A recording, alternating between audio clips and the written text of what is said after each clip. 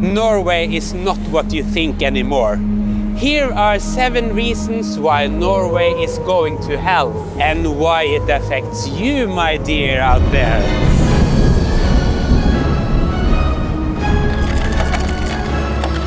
Norwegians have become poor.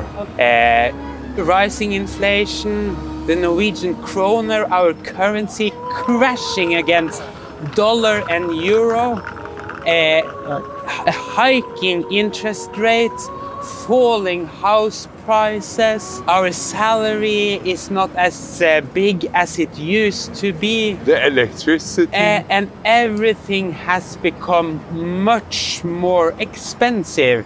The food queues are growing rapidly.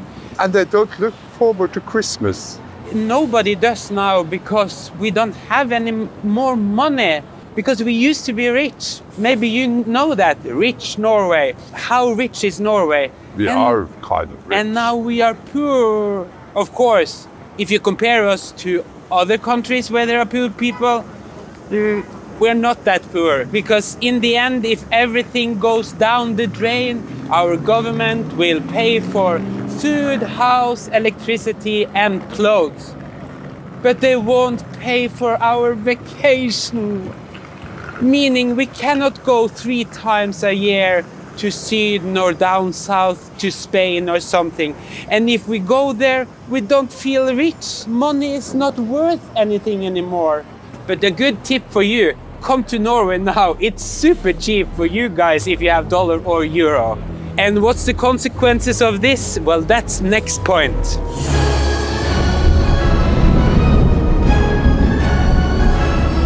Well, so why are we here, do you think? And due to the financial situation in Norway, there is a group of people that has been forced to leave Norway and they have had to become refugees in another country. And these poor, poor people had to pack their enormous fortune in an instant, running away from danger, from demands and everything. They had to run to the trains behind because they don't want to pay tax. You know, Norway is poor now, we need more taxes, and they left for another country, to Switzerland, of course. And the one who has suffered the most of them all must be our national hero, the great cross country skier of them all, Mr. Bjørn Dæhlie. His story is so sad when he was a young talent, he was in a, a, sporting club where everything was paid with by tax money from all of us. Uh, we took care of him. He had the best trainers, and he really had to train and suffer a lot. And then he became the best in the world. And you know, Norway, why are you so ungrateful? Why, when he became rich and famous, had his own company, then we start demanding taxes from him. So he had to leave because why should he pay his fair share to the community? Why should his money go to other young talents like he used to be? I mean, it's just not fair. So we understand that these rich people are there together hiding in a small Switzerland village and are really afraid of Norway and Norwegians. But if you think this was a scandal, the next one, oh, it's shocking.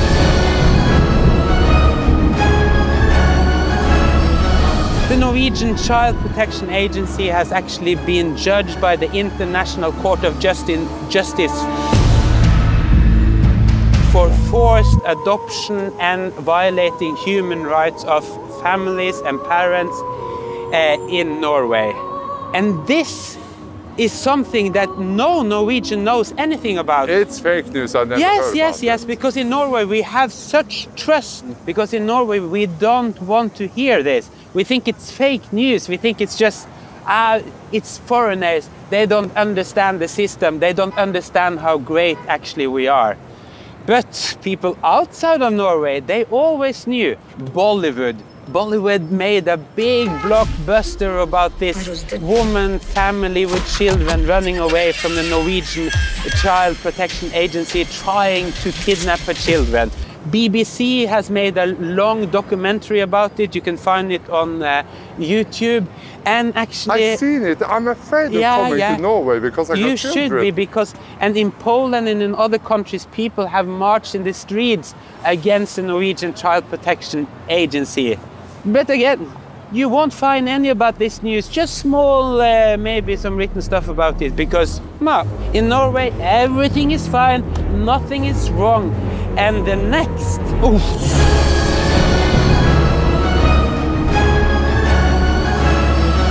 While the Norwegian people are getting poor, it's the other way around with the Norwegian state. The Norwegian state is getting fatter and fatter and is swimming in money. Of course, you say it must be due to the oil because you know that we have a lot of oil and all of that. Yeah, that's part of the reason. And it has something to do, unfortunately, with the war in Ukraine and the war situation and war in the Middle East with Israel and all of that. Because now Norway is one of the major war profiteers in the world. Oh, we have a long history. We have a very long history, and it's not only oil and gas, because we have a l- huge weapon and defense industry. And we make the best weapons for war and destruction. And there's such a demand for really good Norwegian weapons I in mean, the don't world. brag too much, uh, brag too much about No, it. no, no, because we don't want to know about that. Because we we are uh, we are We are giving it uh, away the Nobel yeah, the Peace Nobel Prize. Peace and the, the Peace Prize each year. So no, no, no, the the weapon industry and all of that. No, no, don't talk about it. Take it under the carpet. But the truth is that money is running in from the wars, and you know Russia has closed their gas pipes to Europe. So who is producing gas for Europe now? It is Norway. And oil prices due to the thing in Middle East, who is gaining from that? It's Norway. We are And all the people and all the people dying in the different war- people. wars, who is profiting from that? It's Norway. It's hypo- hypocrisy. No, but- it's a seven death sins. And the next is about a growing revolution in Norway.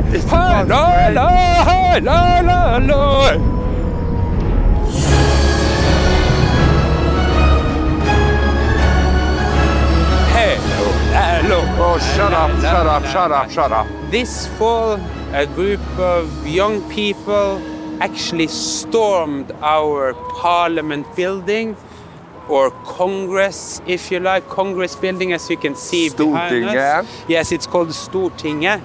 They attacked our uh, political representatives, they attacked the government, and they attacked with loud song, strong colors, and Greta Thunberg. Ah, this must be typical your way to Norway irony, you think? Yeah. but it's not. It's a reality because the Norwegian government two years ago was judged by Norwegian Supreme Court uh, in violating human rights of the indigenous people in Norway called Sami, which I am one part of. The state built windmills on our land without permission. And even though two years ago they were judged by the Supreme Court, they haven't taken it down, they are still there, and they are They're dying. still violating our human rights. Norway, the Norwegian state, which is so morally uh, interested in other countries doing human rights uh, violation, and we do it ourselves. That says something about our politicians. Yes. Which brings us to, to the next point. Maybe they needed to be stormed a little bit. Who knows?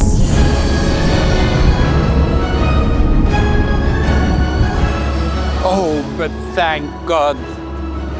Norway is still the least corrupt and most transparent country in the world. At least we like to think so. But the hard truth is that, well, I think Norway is the have the most naive people in the world, and that's the truth, because we adorn ourselves with lies and illusions, so our politicians can actually silently do whatever they do without us looking because we don't have corruption in Norway. But this fall and this summer, the skeletons just fall from, from out from the closet, and there are now a lot of corrupted politicians, ministers What? in our current government. But the greatest scandal of them all, it was Oh, our Jesus previous Christ. prime minister, Erna Solberg. She was like a, a country mother, and she ruled for eight years. We trusted her. And suddenly we know, no, that uh, her little husband that was always behind her, helping her, he was doing some really bad things Fishy stuff. because he had an intense day trading uh, hobby. So Doing each hobbies. time uh, she, Erna Solberg, our previous prime minister, made some financial uh, uh, things about Norway, and then, Changes. then he went to his office and they traded out of it.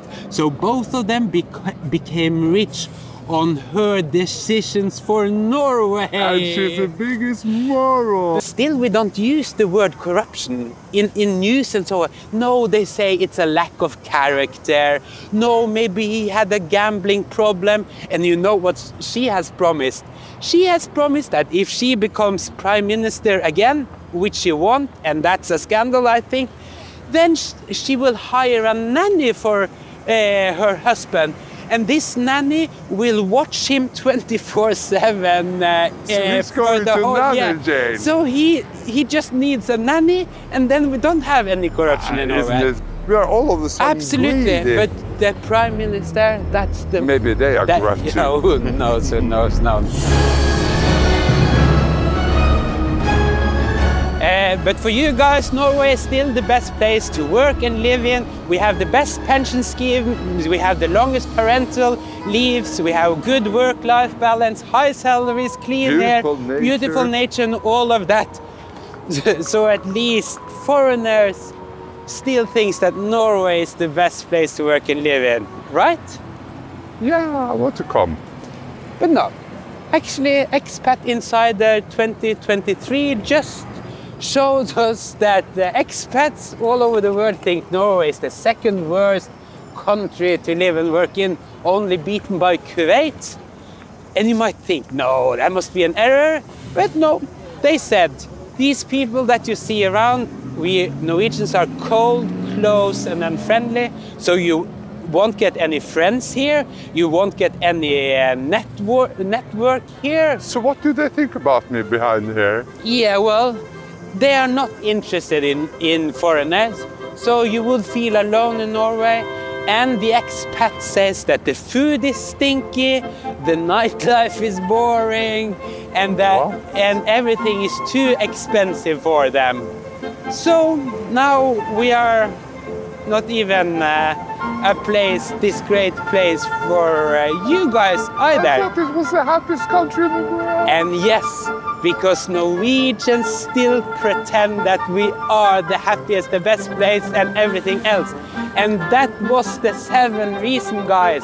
The seven deaths. And which one surprised you the most? Leave us a comment and give us a like and, And, I have subscribe. another question. What's changing in your country? What is it? Leave that comment. Till next time, bye bye.